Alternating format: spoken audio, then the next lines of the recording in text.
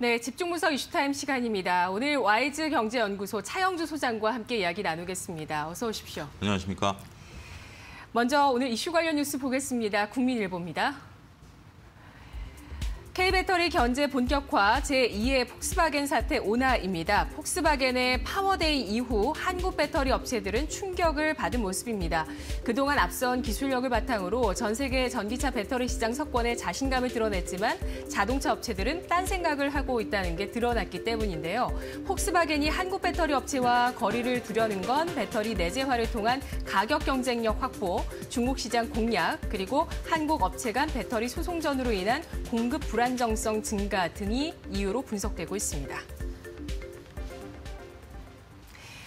자, 그렇다면 오늘 배터리에 대한 이야기 어디부터 해볼까요? 먼저 테슬라부터 해보도록 하겠습니다. 음. 테슬라 최근에 좀 주가가 불안한 모습을 보였는데 간밤에는 일단 반등을 하는 네. 모습을 보였습니다. 테슬라 어떻게 판단하시나요? 어, 테슬라가 최근에 변동성이 확대된 것은 여러 가지 이유가 있다는 좀 말씀을 드릴 수가 있겠습니다. 아, 가장 첫 번째 이유는 이제 그, 그 기술주의다 보니까 금리에 좀 민감한 모습들을 좀 보였었죠. 어, 그러한 모습들을 보이다가 어, 최근에 이제 금리가 다소 미세 조정에 들어간 그런 모습들을 어, 확인할 수가 있습니다. 그러다 보니까 어, 간밤에 이제 기술주 중심의 어, 장이 올라갔고요. 어제 개장과 동시에 어, 테슬라는 4% 넘는 어, 상승세를 보였습니다. 일단 기술주의 대표 주자라고 보여지고 있는 테슬라가 반등에 성공함으로써 나름대로 어, 조금 그 긍정적인 모습을 보였다 이렇게 좀 말씀드릴 수가 있겠죠.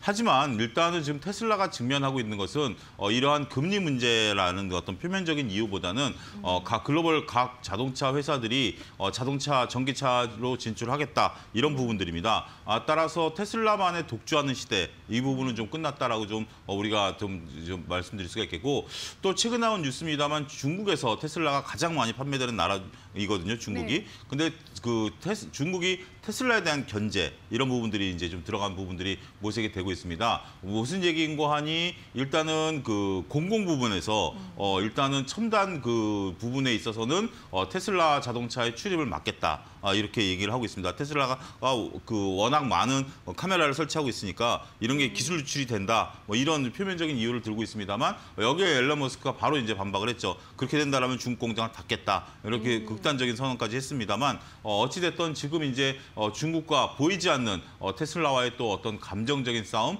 어, 이런 부분들이 어, 중국 시장에 있어서의 어, 그동안 테슬라가 독주를 해왔었던 어, 요소 중에 하나가 사라지게 될 가능성도 배제할 수 없다. 아, 이런 부분들 때문에 어, 조금 어, 조심스러운 상황이 연출되고 있다. 이렇게 말씀드릴 수가 있겠습니다. 네, 테슬라 입장에서는 중국에게 배신감을 느끼지 않을 수 없을 것 같습니다. 중국의 공장까지 열었는데. 네, 그렇습니다. 예, 근데 그런 부분들을 이제 테슬라 입장에서는 어쩔 수가 그 좀 조심스러운 게 네. 어, 중국이 이렇게 나오는 것을 좀 잘 달래야지 음. 중국에서 판매량마저 줄어들게 된다면 네. 테슬라의 입지는 상당히 위축될 수밖에 없다라는 게 어, 중국 입장에서는 아킬레스건을 잡은 거죠. 어, 음. 그런 부분들에 있어서 어, 서로 간에 기싸움을 좀 벌이고 네. 있다. 이렇게 말씀드릴 수가 있겠습니다. 네, 현재 글로벌 1위 전기차 시장을 주도하던 테슬라가 경쟁력이 약화될 가능성이 있겠다라는 네. 우려감이 나오고 있습니다.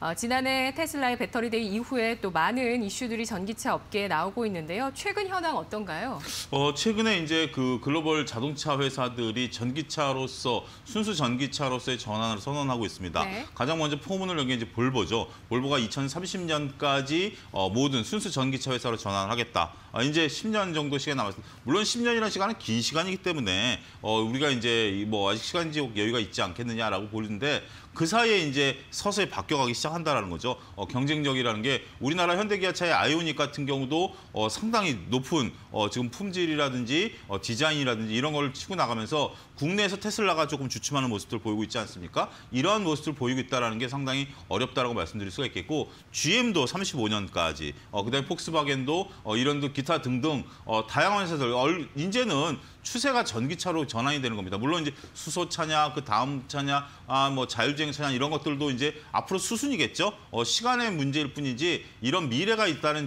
정해져 있다라는 것을 볼 때는 어, 전기차 시장에 있어서의 어, 그동안의 테슬라의 독주 이런 것들은 끝날 가능성이 있다라고 보여지는 거죠.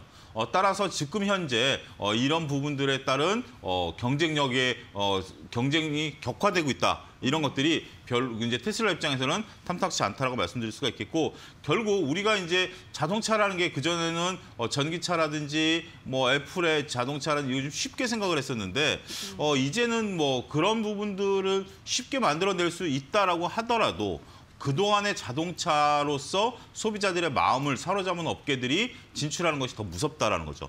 자동차라는 게 어, 물론 그 우리가 이제 보게 된다라면 이게 가격에 민감한 게 아니죠.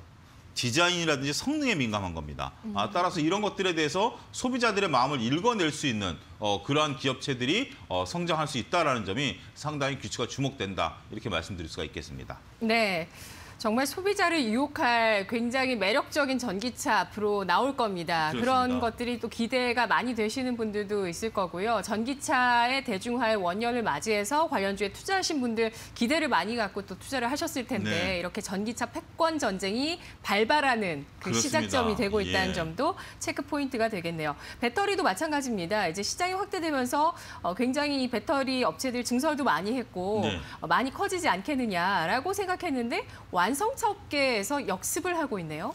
어 근데 이게 뭐 표현이 조금 역습인데 네. 이게 이제 나아갈 방향을 우리가 고, 민해 보면 제가 이데일리에서도 한 그 이게 나왔을 때부터 얘기를 이제 시작을 했습니다. 한 이- 1, 2주 전부터 말씀을 음. 좀 드렸던 게 결국 지- 그 내가 자동차 CEO라면 네. 내가 자동차 CEO라면 배터리를 다 외부에 배터리가 가장 중요한 거 아니겠습니까? 전기차라고 한다라면 이걸 외부에서 공급받는 거하고 내부에서 만드는 거는 다르다라는 거죠. 결국 당연한 수순이란 말씀이시네요. 그렇습니다. 그러니까 예. 우리가 이제 그 처음에 우리가 그 현대차가 어 1970년대 자동차 시대를 열었을 때 음. 가장 먼저 하- 하려고 했었던 게어 엔진의 개발이었습니다. 그때부터 엔진 개발을 동시에 시작을 했었습니다. 당시 기술력이 없었기 때문에 일본의 닛산과 손을 잡아서 현대차가 가장 먼저 손을 잡았던 게 닛산이죠. 닛산과 손을 잡아서 엔진을 이제 수입해 오기 시작했죠. 그러다 보니까 닛산 엔진을 수입해 오면서 기술을 하나씩 하나씩 우리가 이제 어, 속된 말로 어, 그 밤새 그 엔지니어들이 가가지고 그날 배운 거 손으로 써가지고 어, 그렇게 기술을 배워왔던 어, 그러한 시절이 있었는데 그러다 보니까 엔진은 우리가 이제 어, 소위 말해서 자동차를 만드는 부품들에 대해서 외주 협력업체들을 갖고 있습니다만 엔진만큼은 협력업체를 안 갖고 있는 거죠. 엔진만큼은 자동차 업계들이 갖고 있는 거죠. 이게 가장 중요하니까. 그런데 배터리 이제는 엔진이 사라지고 배터리로만 움직이는데 배터리를 외주를 준다? 이것도 좀 어폐가 있는 거죠. 특히 어, 폭스바겐 같은 경우 이번에 어, 원형 그걸 쓰겠다라는 거 아니겠습니까? 따라서 파우치형만 받아 쓰다 보면 네. 자동차 형태, 형태가 어 이렇게 어떻게 표현할까 그 일- 일정한 형태로밖에 안 나오게 된다라는 거죠. 지금 나오는 자동차 형태로밖에 어, 파우치형을 쓰게 된다라면 지금 자동차 외관상으로 봤을 때는 전기차인지 내연기관차인지 모르게 되는데 지금 테슬라가 인기를 끌었던 게 화려한 유연성이라든지 뭐 유려함 뭐 이런 것들 때문이기 때문에 그게 배터리 형태에 에 따라서 달라질 따라 수가 달라질 수도. 있는 거죠. 예. 배터리를 어디에 넣느냐, 아. 어떤 형태로 넣느냐에 따라 네네. 지금 이제 바닥에 깔다 보니까 어, 그런 일정 부분의 형태밖에 안 나오는데 그렇게 된다면 모델에 있어서 한계가 나올 수밖에 없고 이런 부분들을 보게 된다면 결국 어, 배터리도 어, 자기네들이 만드는 거. 물론 이제 지금 당장은 아니겠습니다. 당장은 아니겠습니다만 이제부터 시작을 해야 되겠죠. 기업체 입장에서 본다면 한 10년 뒤에 우리가 순수 전기차를 하게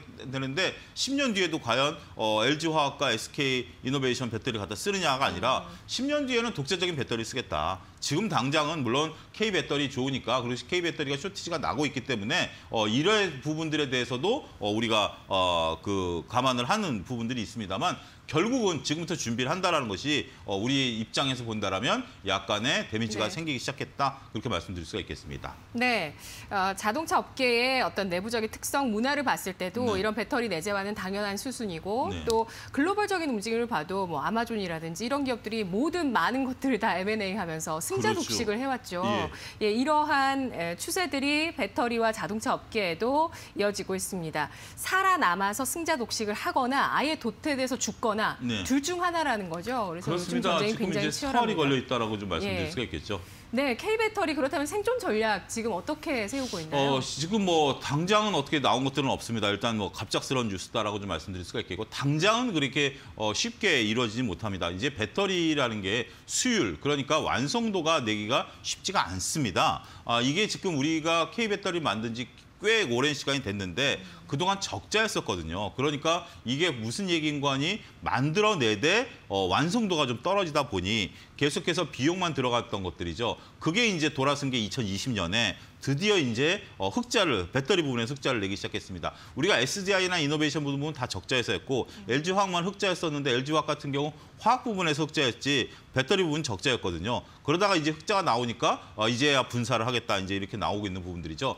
당장은 뭐 다 뛰어들 겁니다. 뭐 현대기아차도 뛰어들 것이고요. 뭐 이렇게 저렇게 다 뛰어들 것입니다만 당장은 뭐 우리 K 배터리 안 갖다 쓰면 뭐 안 되는 그런 상황이 연출이 되긴 할 것입니다. 네. 하지만 주식이라는 게 미래에 앞으로 그런 것들이 다가오게 된다라면 지금부터 변동성이 시작될 수밖에 없다라는 거죠. 독자적인 부분에 있어서 어, 지금 쇼티 지금 배터리 달라고 줄을 서 있는 입장이기 때문에 지금 배터리 입장에 배터리 회사 입장에서 보면은 어, 여유가 있죠. 지금 이제 자 줄을 서시오 이러고 배터리 나눠주는 그런 형국이기 네. 때문에 어, 그런 상황이긴 합니다만 그, 배- 그러다 보니까 자동차 회사에서도 소위 말해서 일을 가는 거죠. 어, 우리한테 왜 배터리 안 줘? 우리가 만들 거야. 뭐 이런 식의 이제 현상이 일어났다라고 좀 어, 제가 좀 강하게 말씀을 좀 드리겠는데 당장은 뭐 이 영업이익이 훼손되지는 않을 겁니다. 하지만 중장기적으로 영업이익이 훼손될 가능성이 있다라고 본다라면 지금 여기서 추가적인 상승을 나타내기에는 네. 솔직히 말씀드리면 현실적으로 좀 쉽지 않은 그런 형국이 연출될 가능성도 있다. 아, 이렇게 좀 말씀드릴 수가 있겠습니다. 네.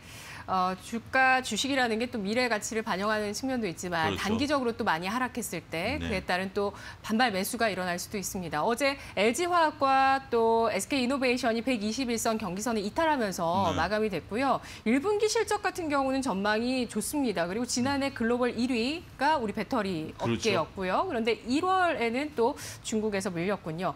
아, 배터리 투자 전략 세워보도록 하겠습니다. 소부장으로 가야 되나?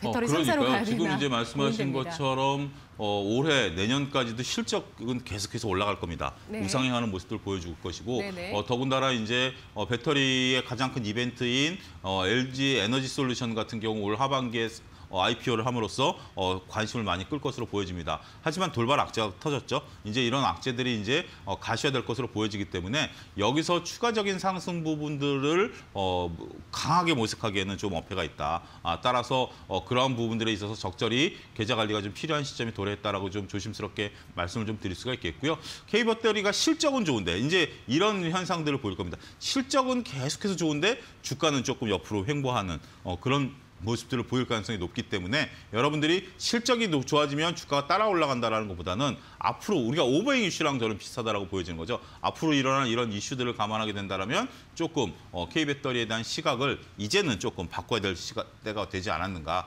조심스럽게 말씀드리도록 하겠습니다. 네, 소부장 쪽은 괜찮을까요? 배터리 소재 쪽, 장비 쪽은요? 어, 이런 쪽들에 대해서는 여전히 주- 그런 쪽들은 좀 긍정적일 수가 있죠. 근데 어차피 한 몸이기 때문에 어차피 어, 왜 글로벌 기- 기업들 같은 경우도 어, 이런 쪽들에 대한 것들을 다 내재화시킬 가능성이 높기 때문에 내재화라는 게 어, 그네, 쟤네들이 만든다라는 게 보다는 어, 각 나라에서 이런 것들을 해결할 가능성이 높기 때문에 네, 어, 네. 부품주들부터 먼저 타격이 올 가능성도 있다 이렇게 좀 말씀드릴 수가 있겠습니다. 네, 알겠습니다. 아, 배터리 업계에 악재가 불거졌습니다. 배터리 내재화 이슈가 떠오르고 있는 건데요. 지금부터는 보수적인 관점으로 배터리주 접근하는 것이 좋겠다는 의견 제시를 하고 있습니다. 투자 심리가 악화된 측면을 어떻게 또 어, 해소시킬 수 있을지, 개선시킬 수 있을지는 여러 가지 불확실성 남겨져 있다는 점 체크를 해보도록 하겠습니다. 오늘 집중 분석 여기까지입니다. 잘 들었습니다. 감사합니다.